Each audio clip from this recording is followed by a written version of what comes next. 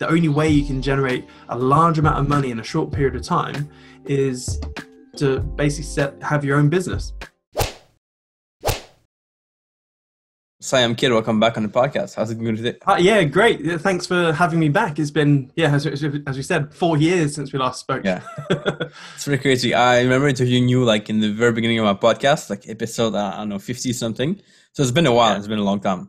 So uh, for people that don't, don't know you at all, tell people who you are and just a bit of background about yourself to begin with. I started trading when I was 18 um, and I lost a, a stupid amount of money for the first four years, and it took me about six years to get profitable. So I had yeah four years of hell, two years of break even ish, um, and then yeah from year six onwards, it's it's been great. So that's I guess my trading style, and I've always um, been balancing trading with my career and all that sort of stuff. So like everyone does really, and I guess it's just trial and error. I've, I've the only way I've got good over time is just by knowing what idiot mistakes not to do.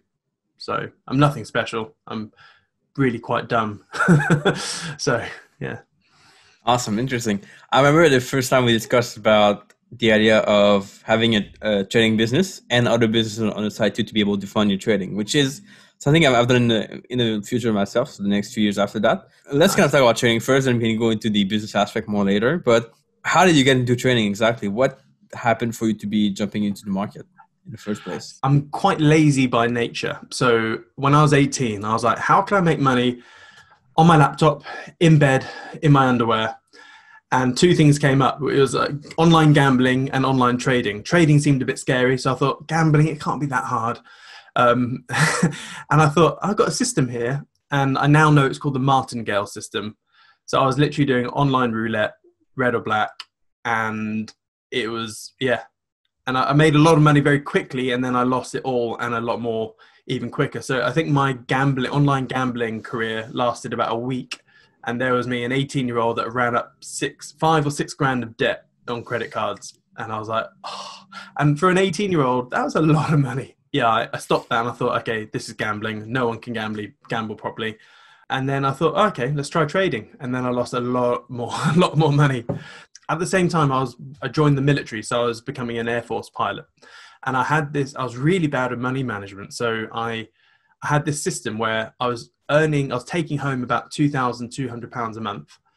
I was blowing two grand a month from the markets. That was literally how bad at trading I was. I was literally losing two grand a month from trading, and I was blowing two hundred quid a month on booze and alcohol and partying. So that's the sort of image of how bad I was at life back then. But it was fun. So, so what made it all turn around? What was the, the changing moment then? I just got fed up of losing. Like the yo-yo, yeah. So my profit equity curve was just a massive yo-yo, massive wins because my risk management was diabolical. I'd, I'd be having these huge wins and massive losses.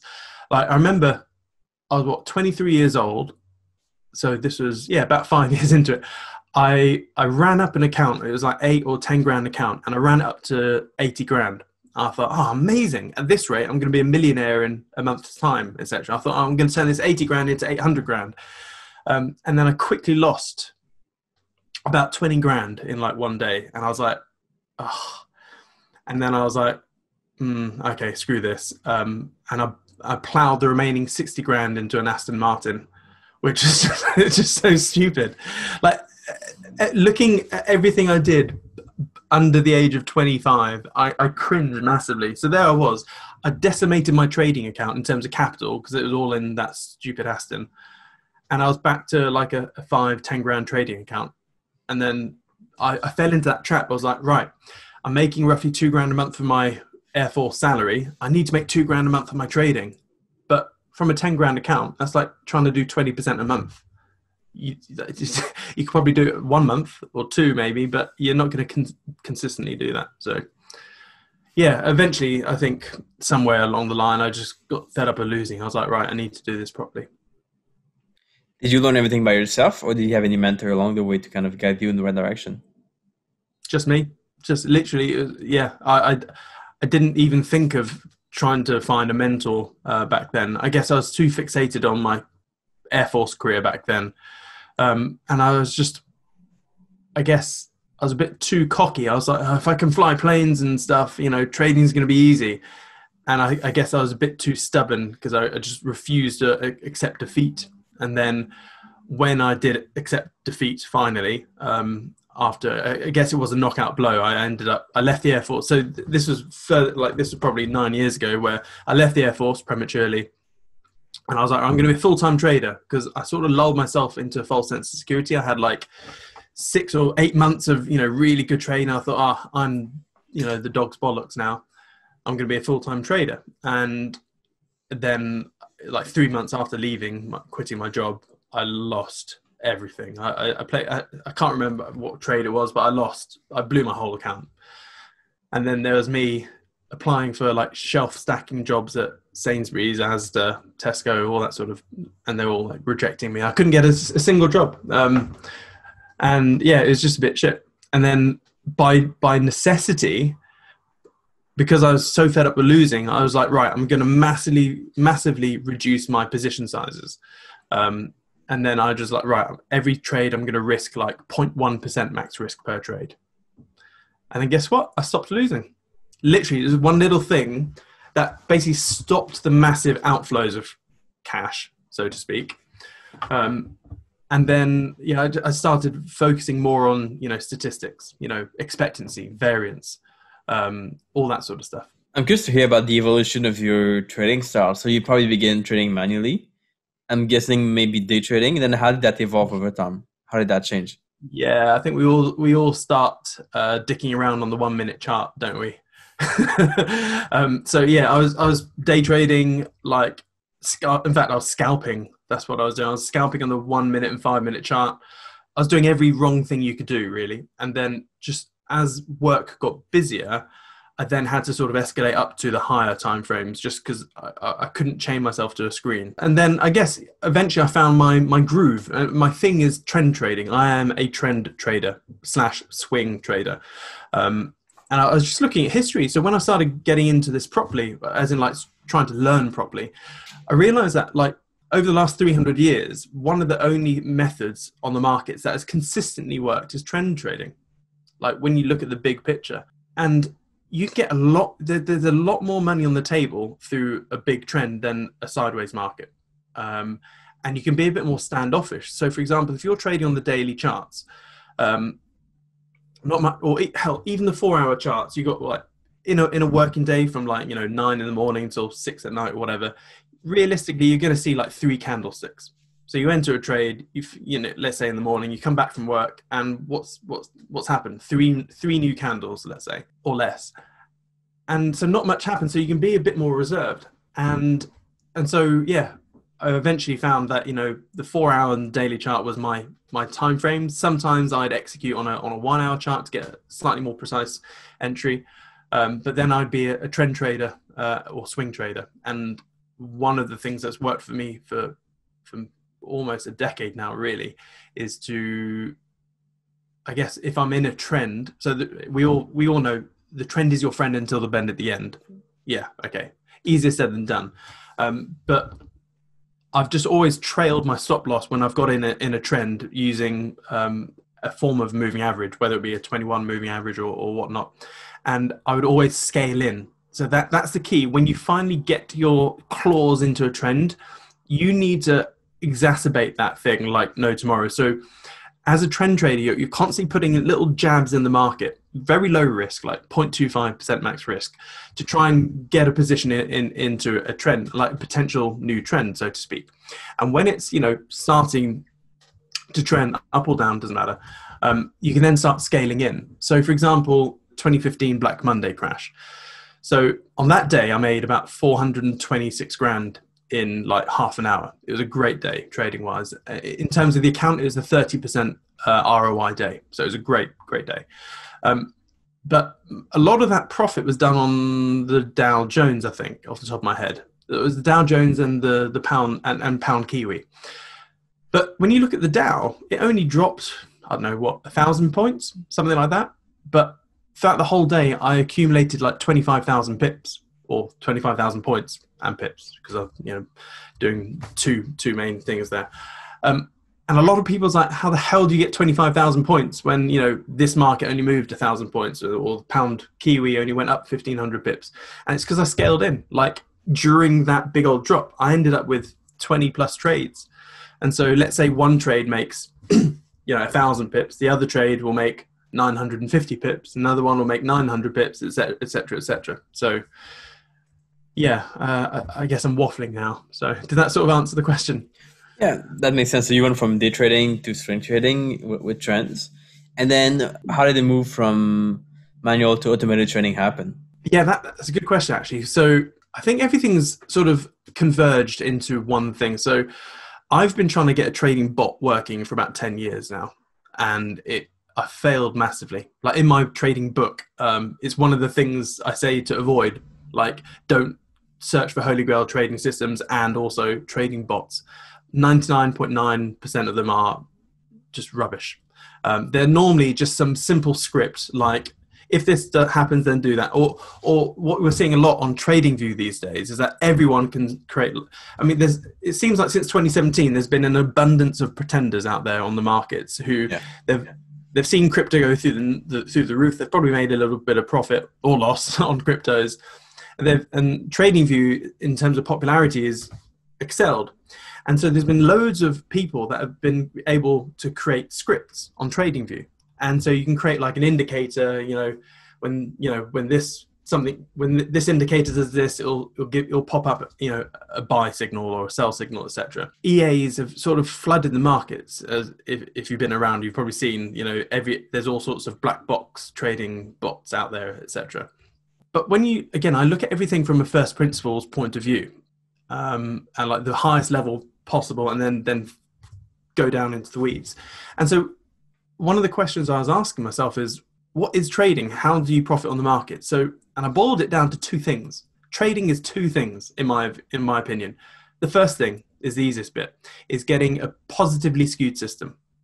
So you need a positively skewed so positive expectancy algorithm so a strategy which is positive okay but mathematically backed so that's the first thing, and that's the, the easiest bit. Actually, I, I I always thought it was the hardest, but it's not. It's the easiest thing. I could pluck out a new system out of my ass right now, and I, I could make it profitable. Step two: once you've got your positively skewed system, you then have to execute it consistently and flawlessly over over time in order to generate a large or a large enough data sample. So that is it. So once you have a mathematically or statistically backed system, you then got to execute it without deviating from the trading plan parameters, etc. So that that's so that that's trading in a nutshell. Get something which is profitable and then execute that thing. Now, humans, you and I, we're we're clever monkeys at the end of the day, and we are not the best traders really. If you look at any sort of organism or species or thing to be to be good traders, yeah, we're better than monkeys, but we're not better than computers. So here's the other thing: if you can create a positively skewed system which is completely mechanical, so there's very little subjectivity there, because there's some systems where you know it could be some sort of like let's take a MACD, a MACD crossover or whatever. Um, so some people go, oh yeah, this is really good MACD crossover, whereas someone else go, oh no, it's it's not high enough or it's not low enough, etc. There's a bit of subjectivity there, and there's a lot of systems out there where sort of the trader's eye go, mm, this looks good, etc. So they're fine. And I've got some systems which, you know, you have to eyeball somewhat. But I prefer mechanical systems. So really, if this happens, then do that. But the, the, thing which I've always missed with machine learning, well, sorry, with bots, is machine learning. It's literally been in the last two years that um, machine learning has become more accessible, and that's the missing jigsaw puzzle puzzle piece. So, so this is why like 99% of my trading now is done by my machine learning bot because it's got my system, which is profitable. It executes it flawlessly, um, 24 hours, five and a half days a week. And yeah, that, that's it. And the other thing, what, what, a lot, what a lot of people don't realize that humans, we are eating, sleeping, working, like we spend most of our time away from the charts or not trading. And so we're missing out on 50 to 80% of valid setups unless you're, you're becoming a screen slave and I don't want to become a screen slave. Like, why chain yourself to the charts? Because like you just bought yourself a job, a shitty job. so uh, the bot my bot just does all my trading now pretty much I agree with that. So that's kind of what I've done myself also the past year and a half or so is going to more and more systematic things that can be applied anywhere, anytime by a robot without being there to take the trades. Just make sure we answer the, the basic question. So, what is the difference between an algo and a machine learning algo? What would be the difference there? Uh, okay, so non-machine learning algo would be if this happens, then do this. Okay, so it's going to be let's just keep things simple. Let's say it's a moving average crossover right? When this moving average crosses over this sell when this moving average crosses over this buy okay? So all the bot will be doing is will be looking for those crossovers and it will just place the trade regardless. Now you can you can make it better so you can put exposure limits in. So you know the bot will know that if the if you know you can limit it to one trade per currency pair you could you know and you can have all the you know the risk etc and, and that sort of stuff. So you, you can get some good non-machine learning ones but i think you've got to monitor them. You can't really fire and forget. You've really got to keep on on top of them. Um, so that is a non-machine learning based one now the, the key with a so the, the main difference with a machine learning one is that it will adapt with it over time so as more data comes in, the algorithm itself will change. So, for example, if if you code up, let's go back to that example. You've you've put in a machine learning, uh, sorry, uh, moving average crossover system, let's say, and I don't know, you could just say, right, the stop loss for this is one times ATR, and a take profit is two R. Okay, so your bot will just always do two R take profit and one times ATR as the stop loss. But what you can do with if you have a system that's constantly learning, it's even better because there will be a whole bunch of trades where if you'd taken say a two um, two times ATR, you wouldn't have got stopped out, or if you'd taken a five R outcome, you know, you, you're either leaving profits on the table or you're missing out on stuff. So what we can do in MyBot is that yeah, you can select the markets and the time frames you want to choose, and you know even the, the hours of the day that you want to place trades, etc. But the cool thing is that it has a massive data bank of, of raw data, as in all, all trading data for you know 10 years, let's say. And so instead of giving it a set to our li- you know limit and let's say a set stop loss, you can actually put a range in. So you can put it say, um, I would like a stop loss between zero to 200 percent of ATR, so zero to two ATR, let's say, or five ATR, whatever you want and you can have a, a take profit of 1R to 5R. So what will then happen is that the bot will look for the setups of the core setup, like I know, let's say a moving average crossover, and then it will look at the market. So let's say it's found a trade on the one hour chart, euro dollar, to go downwards, and it's got this sort of candlestick, let's say. It'll then look in its data bank and go, right, how many other situations where this exact picture has occurred on the one hour chart in euro dollar with this candlestick formation with you know whatever other bits you want? And it will look in and go right over the last 10 years there's 500 setups or identical setups to this particular thing. And out of those 500 setups with you know this is what's happened. So it'll then go ah okay in this case i'm gonna not me the bot will say i'm gonna place this trade with this stop loss. So it will choose the stop loss, you know, anywhere between the, you know, whatever parameter you set, and it will choose the take profit. And it will know all the stats for it, whereas a human couldn't. We that's effectively like us firing from the hips, but we wouldn't know the expectancy of it. The so with that, it will have a probability becoming profitable. There's blah. Um, it also has an expectancy filter as well, so that's crucial. So so, for example, it'll look at all. So you could set a, a, filter in your bot saying, right, I only want trades with a minimum of a 0.1 expectancy minimum. So what that will then do is, if this euro dollar trade comes up, it'll look at the 500 odd previous trades and go, ah, oh, okay, yeah, on average with this setup with this stop loss and limit, it averages 0.15 expectancy. So then it will place the trade. But if it does, if it's less than 0.1 expectancy, it won't place the trade.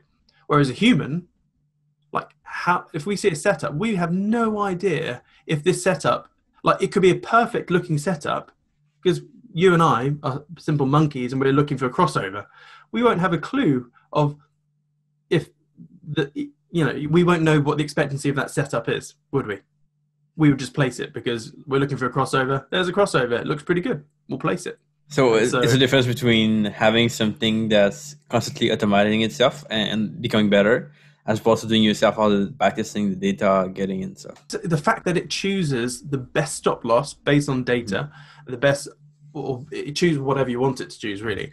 Um, so we got this running with about 2018, and we did a three-way split test. So I set up the bot. So with- with any form of algo creation, that once you've put your stake in the ground and gone right, this is it. Um, and it may look good in backtesting. I mean, you can make anything look good in backtesting, really, if you curve fit and all that sort of stuff. But there's always an element of you have no idea how well it's going to walk forward. So you have to do real time walk forward. So we did it, looked great, it was all fine. And it's a system that I've been using manually for ages. So I knew it worked because if it works for me manually, it's going to work better on the bot. Um, so we then did the bot running on its own, the bot with me tweaking, thinking I know better, and then me manually trading that algorithm, that system the bot left me for dust. So my manual trading just got it was profitable by the end of the, that year, but not as good. The bot of me tweaking with it came second, and the bot left alone just by a country mile was better. Because when I was tweaking with the bot, it would be asking, it would be sending me a telegram alert saying, "Hey, here's a setup. Would you like me to place place a trade?" With a yes and a no button. I'd be like, "Nah, I know better. No." And guess what? You know, me playing around with it was not as good. So I've got it on full full autopilot now. So it just play finds places and trades everything, and it just sends me a telegram saying, "Hey, I've done this." For someone that wants to go into creating an algo for his trading, is there a big bar of entry to using artificial intelligence for the algo, or is it pretty simple to apply and use? Massive, massive bar. Like, I'm not a coder, so I don't have a clue when it comes to coding. Um, I don't even. Uh, I personally don't even know how to create a simple script. Like that's how bad at tech and stuff I am. I I'm just a trader. Um, so finding someone that knows their shit is actually really hard because if you go to like most people go to upwork.com and put in an ad for i'm looking for a trading coder and you'll have a million different people saying that they can all do the same thing and when you're trying to scope up a, a, new project li- like this you'll have some people that come back and say oh yeah i can do your thing it'll cost you five grand fine some people come back and go mm, actually with your scope it's going to cost 500 grand and it, for someone that knows nothing about coding um, it's good that I know about trading, so I can I can I have a bullshit detector straight away when it comes to trading stuff. But I have no bullshit detector when it comes to coding. I haven't got a clue. Do I take this person that's quoted me five grand or five hundred grand? Like common sense will say probably the five hundred grand is going to be a bit safer than the five grand one. But do you really want to spend five hundred grand? On, yeah. So, and like I've got a bunch of businesses, and we and I mean, I recruit all sorts of different people for different jobs, etc. And I've done, you know, and I've recruited a whole bunch of remote working people in the past. And even for a simple thing, like you could recruit like a graphic designer, which I don't mean this in a derogatory way, but there are billions of graphic designers out there, right? It's a commoditized skill now. I don't know if you've looked at the, the market, but every Yeah. every man and his dog is a graphic designer or a logo designer these days. And so with that, especially if you're hiring, let's say I'm in the UK, like you could get a graphic designer for like five dollars an hour from somewhere in the east, let's say, and and you can have yeah two of them, and one could be absolutely amazing, one could be useless, and yeah, so you've got to kiss a lot of frogs, unfortunately, and you've got to be super specific with your brief, super specific. So that's where a lot of people go wrong in the scope. So. Mm-hmm. And that So can be tough for someone who's only trading before and not really having a business. That can be tough to start to hire people, get a programmer, get this person, next person to be able to work on something. That Yeah. that can be tough. So, I- did you feel I- nervous at first to dive into this, or did you kind of know where you were headed? failed massively. Literally, I, I wouldn't even recommend it. So if you're just so first of all, if you're if you don't fully know trading, I wouldn't even bother doing it because you, you need to have a massive good grasp of trading, especially trading statistics and probabilities. Like you need to know what expectancy is inside and out. You need to know what variance is and you know all the different trading metrics that you may need. Like I'm, I'm still surprised that people don't know. Like my two favorite stats, trading stats, are average adverse excursion and favorable um, uh, average favorable excursion. Um, and like if you know these two stats of like you can tweak those two and you will turbocharge your own your strategy like overnight. But how do you use those stats? You can't do that unless you've got a good data sample of stats behind you. And how do you do that? You need to log. So you need at least 100 trades under your belt doing one method and then you can apply those those metrics to those you know to that system but 99% of traders out there don't log. So they'll never be able to you know tweak their their strategies because they're always shooting from the hips. So let's talk about business a little bit. So how do you combine trading and business? How do you manage your time to be able to do both? It's hard to begin with. So in fact business actually saved my trading because up until I got into business, I was always relying on stripping out my account to pay for bills. Like I was full time day trading, and I had all the profits of my trading had to go to pay the rent, the utility bills, all my outgoings, and that absolutely sucked because there's pressure from day one. And if you don't make your ROI in that month, you're screwed. like I, I can't pay the rent because I've lost money this month. I haven't made money. So when I started relying on my income from my businesses, then I, I, just stopped trying to strip my trading account and I was like, right, I'm, the money in my trading account, I'm just going to let grow and compound. So it took a lot of the pressure off.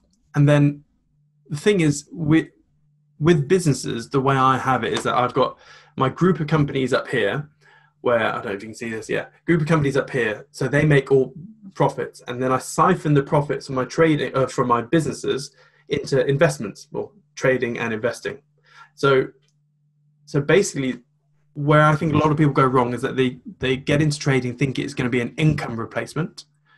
When I think personally, my own opinion hat on is that I I think that is the worst thing you could ever do. Trading should not be uh, an income replacement. It should be a wealth grower. So all it does is trading grows whatever capital I have. And I've met, and I was in this situation you probably have been in at some point, and I've met so many good traders out there. So people have been trading for, you know, three, five, ten years, and they can make a really good ROI percentage wise. You know, I've met some good traders, you know, they've got, you know, a two year, three year track record and they've consistently done 10, let's say 10, 15% a year. So they're a good trader. But because they're trading a 10 grand account, if you're making a grand a year profit from trading, you can't live off that, can you? And so one of the things that was a frustration because I got myself to a position where I was a, gr- a, good trader making good ROI from trading. But if I'm making hell even 20% a year on a 10 grand account, like two year, two grand a year profit, it's bugger all. So one of the reasons I got into business is like, shit, I need a way to actually put more money in my trading account. Hence business. And then I lost massively with business for the first four businesses. I lose big time on everything I do to begin with. So but that's the learning curve. So, and I was in a similar situation a few years ago too, where I wanted to be able to go full time trading, and I had some some good some good returns and everything around, but I, I didn't have the capital to do it, and I had to find a yeah. way to either. I I knew some guys, some people that worked ten years to be able to save enough money to be able to trade full time after, and I didn't want to have to work ten years full time in a job to be able to do that. So, yeah, that's what I mean, business came into. Yeah, if you've got a couple hundred grand in your trading account, yeah, you can easily live off it, mm-hmm. but not on ten grand hell, even if you've got 50 grand in your account, uh, you should not live off that. No, no. So, because then your your returns just pay your bill and that's it. Paying the bills and a holiday at best. I guess if you're in that quagmire, you've only got two options. So let's say you are. Um, so obviously, I'm now talking to a very small group of people here. But let's say you are a good trader. You're you're consistently good. You know what you're doing, but you haven't got much money in your trading account. You've only got two options. You either get into business and you grow your business empire or your mini ecosystem, or you grow a business or two or whatever. Um, so you can scale up your trading account via your business. But remember, that is a short. Every solution is going to be a, a medium to long term solution, by the way. Um, so that's one way you can do it, and that's how I did it. Or you can try and get a two to three year track record on a live account so even if you got five, ten grand in your account, if you trade that consistently for let's say at least two years, and you document everything, so you every single trade you um, So every single trade you place, you need an entry and an exit screenshot. Uh, you need to doodle and then print them out. So what you'll end up having is that every year you'll have this massive lever arch folder of, let's say you place, I don't know, 100 trades in a year. You should have at least 100 pieces of paper with the entry and the exit screenshot with doodles the reason why you got in all that sort of stuff. And every month you have another you know like an overall summary of each month blah blah blah. And then at the end maybe a whole year summary. Basically have stats up the yin yang. Um, and then also in that folder have your broker generated report okay? So this is airtight. You can go right 2018 or whatever. This is my trading this year. This is basically your trading journal and all the results. And you know put them in, you know, make it nice. And so let's say you got two years worth of this meticulous logging, right? Two big old lever arch folders. What you then do, what you should, what I think you could then do is go to an accounting firm, make it a big one, someone that's heard of, whatever, PwC, and get it assayed. So what they won't do is go, yeah, we get, we can confirm that Etienne is a good trader. They won't do that because there's lots of liability that comes with a statement like that. But what you can get them to say is, can you please audit or verify that this broker generated report matches my own log as in my, my own you know um, stats and reports etc does that make sense? Yeah. So yeah. then they all simply go they'll do their thing. They'll go yeah they'll go you, you you may have to teach them how to go line by line. Here's trade one. This is the result. This is this matches in my own personal log blah blah blah. And then you can get some sort of stamp saying yeah it's assayed and authenticated or audited by PwC. And then once you got all that, then you go on a, uh, a capital raise.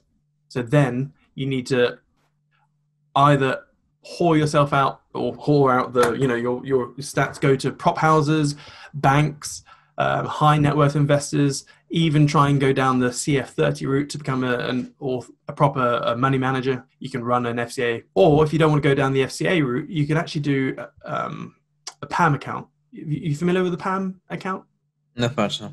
In order to run an FCA regulated fund, there's a good three years of hoop jumping and exams and qualifications that you need to do.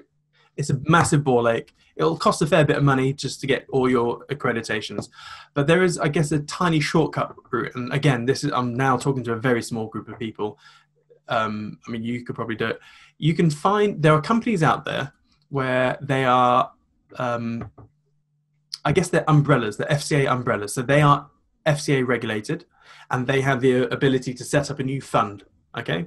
So what they do is let's call it X company. So this X company is the umbrella. They're FCA regulated. They'll have um, an, an, approved person there who is able to do that, and they'll set up a fund, uh, like a new like a trade. They they can set up a trading account and put money in it. Okay. But then they'll employ you, and you would just be the executor of that account. So you'd just be the, the the trader for that that fund. So you'd be operating under their regulated umbrella. Um, I did that in 2015, and, and that was quite good. And so when I say a PAMM account, so what you have, I hate using the forgive the terminology. It's not not not my terminology. You're you would be trading a main trading account, which is called the master account.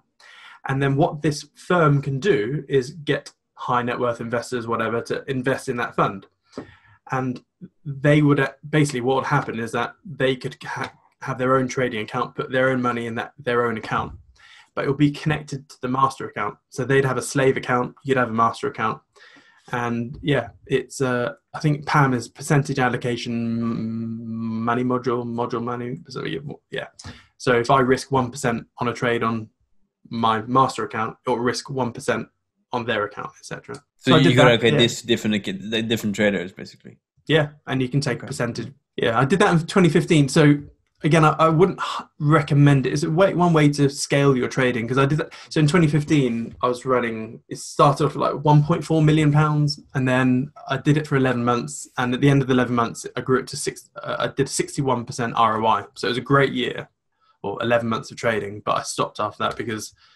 man, it was stressful you'd have people texting you every day, why the hell do you place that trade? I'm like, just go away. yeah, yeah, So interesting. Yeah. Sorry, now, it's a long answer. No, it's, it's it's good to know for sure. Now, one thing I know is some people will say that they want, they don't want to have a business because they're gonna have to be too involved. It's gonna be too much work for them, and they want to dedicate their time on trading. So, I know your kind of business is different. So you have businesses that you don't necessarily work day to day in them. You kind of buy them and then run them a little bit. So how does that work exactly? What exactly do you do with those businesses, and how do you proceed with that?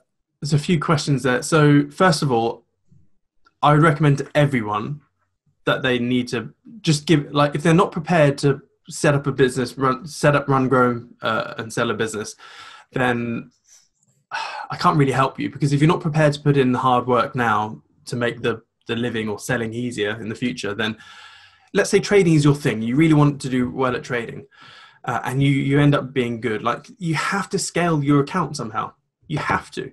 So you either go down the official route and become a money manager, etc., and try and find investors or whatever, which is a shitty route. I, I, I recommend that you don't do it. I've, I've done it.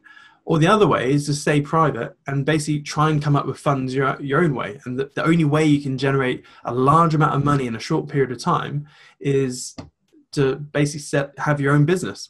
You, are going to have to go through that rigmarole. So all the pain and whatever you went through with trading, you're going to go through a business. Like I like, yeah, my first three businesses didn't work and it was lucky number four. But then once you get the hang of business, then it's not risky anymore. So I, so with trading, it's all about R multiples, right?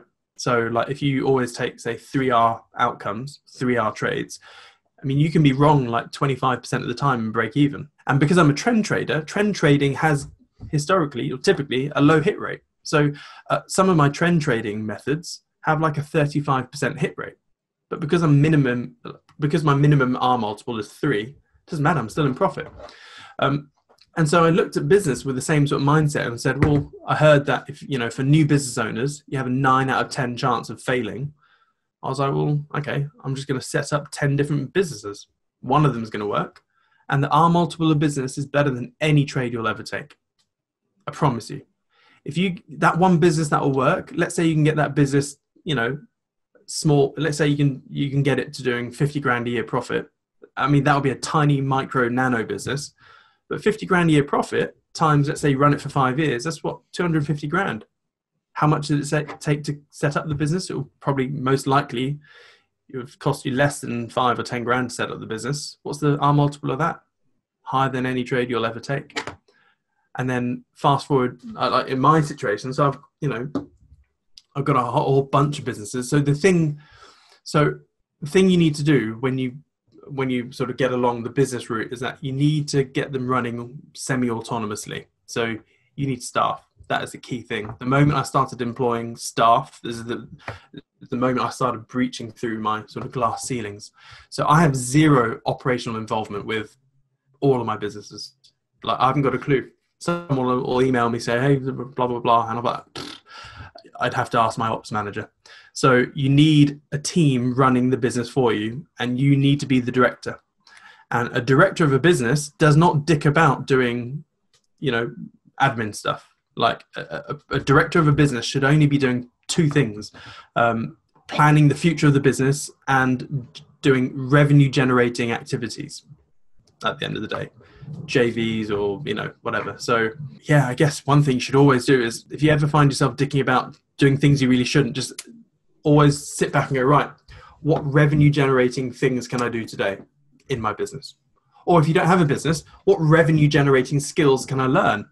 I mean, a lot of people spend are happy to spend 50 grand getting a uni, uni degree, but what is the ROI on a uni degree? Most of the days you'll end up doing a job completely irrelevant to your degree. Um, I've got one of my web pages, I've got the stats of something like the average salary five years after your degree and it's like less than 30 grand. And it's like, what? So people have no qualms getting 50 grand in debt to get a job less than 30 grand a year, but they're not prepared to spend five grand setting up a business. Or let's say, let's say you got 20 grand and you're like, okay, I'm going to spend five grand on each business. I, I, am going to go off on one. I've gone off on one. this is true. And one thing you mentioned, which I can relate on, is the idea of focusing on the things that produce result, the income producing activities. So after that, like in the past two years for trading in business, and I think you find the two in the same thing in both. Like in trading, this thing is like most people spend their time looking the at, at, at strategies online. They read blogs, which is a waste of time. And so you can cut that. You can work on things that produce result. People spend time like trying new strategies. Uh, it's a waste time too.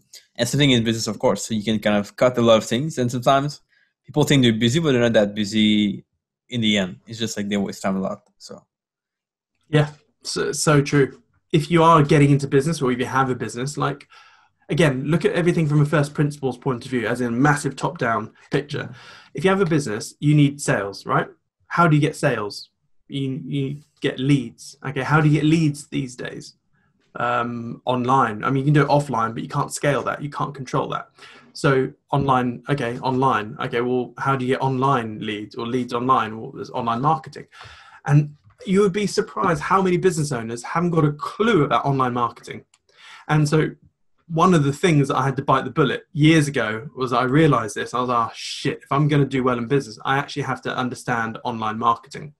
So the only thing I've actually ever paid for, I mean, I never paid a penny to learn how to trade, but I've then quickly spent over a hundred grand in learning online marketing. So I've done all sorts of seminars, business courses, business workshops, all that sort of stuff, trying to accelerate my learning time because I didn't want to spend six years trying to figure out marketing because that's you know time cost there so i spent you know two or three years ma- like rapidly learning everything from the best i could find and then once you understand online marketing then obviously you need to implement that in your business but again you shouldn't be dicking around with it you should find someone to implement you need a digi marketer in your team and because you'll then have a knowledge you'll, you'll know who to recruit because you, you'll you'll have all the BS detectors out there. How do you manage money in your business to be able to invest in your trading? Do you put like all the profit in trading, or do you put do you like separate in in fractions what you keep for yourself, what you put in the business? How does that work?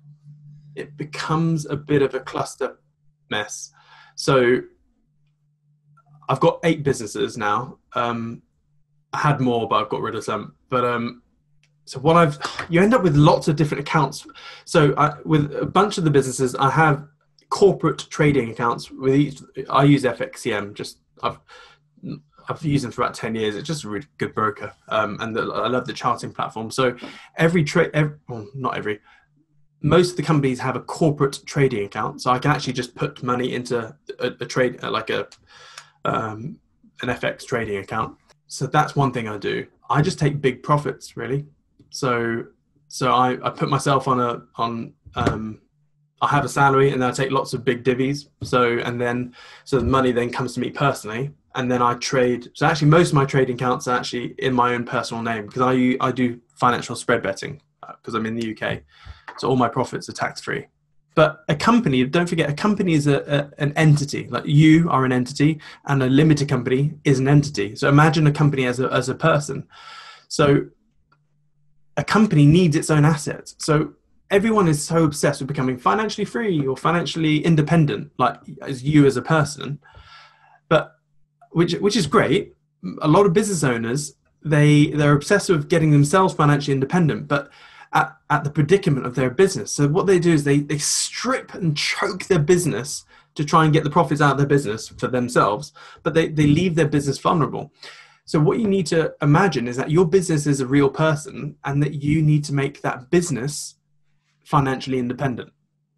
So, the quicker you can get your business financially independent, as in, you know, it's, it's on its feet, um, so it has, you know, consistent revenue from day one, um, then the quicker you personally will become wealthy. So, for example, um, you can create some form of residual income stream, like a subscription based type income with any type of business, whether you have an online business, a bricks and mortar business, get some sort of subscription or payment plan type product in there. Because, and then let's say your outgoings are, I know, 10 grand a month in your business. Well, then your first goal is, right, I need to make sure that my direct debit income or my payment plan income hits 10 grand a month. That's your first goal. The moment you're, you know, your residual income in your business meets your outgoings, that's a massive weight of your shoulders because on day one every month, like all your outgoings are covered, everything else is profit. Whereas if you don't, day one of every month, it's like, geez, I need to make 10 grand in sales or 12 grand in sales or whatever just to break even. So there's pressure there.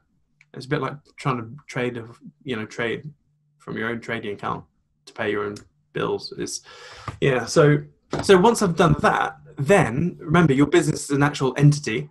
Your entity needs investments.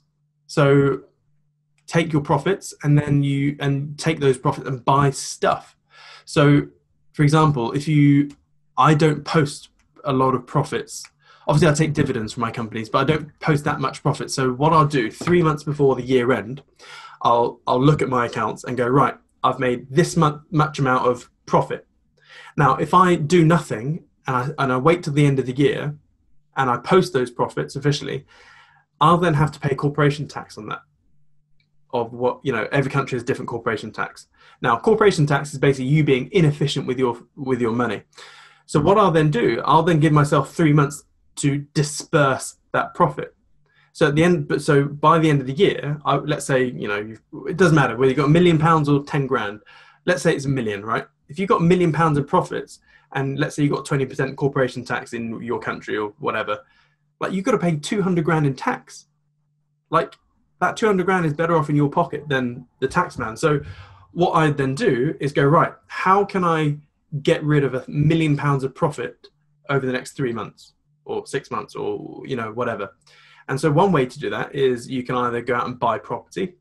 So your company can go out and buy property. There's all sorts of cool SSAS's out there. So um, company pension schemes out there. Some, a sas is really effective. Um, or what i find is even better just plow it all into marketing. Literally just plow it all into Google or Facebook or wherever your main um, lead generation is. Because if you if you've got a, a, a marketing machine which is you know somewhat okay, if you plow a million pounds into it, okay, that you got rid of all your profit for that year, which is great, but you're going to get that money back, but more, hopefully. again, I, I, could talk for a long time about money management with the businesses, but uh, again, the average person I mean, it's common knowledge you need a rainy day fund, right? You know, everyone needs a rainy day fund, you know, a pot of money so that if the boiler breaks or your car breaks down, you can cover that, right? Um, but do the same with your business. Geez, have at least six months worth of outgoings in cash. Now, that may be a lot. Like the bigger the business you get, six months worth of OPEX, so operational expenditure, is a lot of money. So let's say you've got a business that's doing, you know, it has even 10 grand a month in outgoings that means you've got 60 grand in cash sat in your bank account, burning a hole in your pocket. And as a trader, especially like you're, you're a trader, if you're a trader or an investor, there's a, a someone that there's that little bastard on your shoulder going, "There's 60 grand in your account doing nothing. You need to grow it." yeah. So this is where I've screwed myself over. You know, I've sat there going, "Oh, you know, there's a couple hundred grand in the account there doing nothing," and in one side of your head's going, "Yeah, but it's my rainy day fund. If you know, something bad happens, I've got you know payroll, I, I can pay my staff for six months or you know whatever. But the other one's like, well, yeah, well, why don't you grow it? You know, sixty grand, you could grow that into hundred grand, and then. But where I've gone wrong is I've taken my rainy day fund and I've put it into illiquid assets, which which is shit. Like yeah, and so guess what? The rainy day comes, you need that money. I was like, ah, oh, shit, I've parked it into an illiquid asset. I can't get it out. And guess what? You end up borrowing money to cover the shortfall. So don't be too tempted. So if you, yeah, so all I do, so here's, um, if you do have a rainy day fund in your business, uh, yeah, invest it, grow it, but put it in, in liquid assets. So for me, I just put it in my trading bot because I can withdraw the money whenever I want. Good point. Good, some good lessons about trading and then business and, and money. That's pretty awesome. So, what can people find you if they want to connect with you or reach out after this podcast? If you type Siam Kidd into YouTube, I put loads of stuff on YouTube for free. Um, but I'm at therealistictrader.com if you want to find me. And, awesome. and you can go my bot as well there as well. So Sam, it's been, it's been a pleasure. I know your advice is always pretty good. People love it. So I had a lot of good feedback about it for interview we did together a few years ago. It's gonna be the same for this one, of course. And I hope to talk to you soon. Uh, thanks for having me.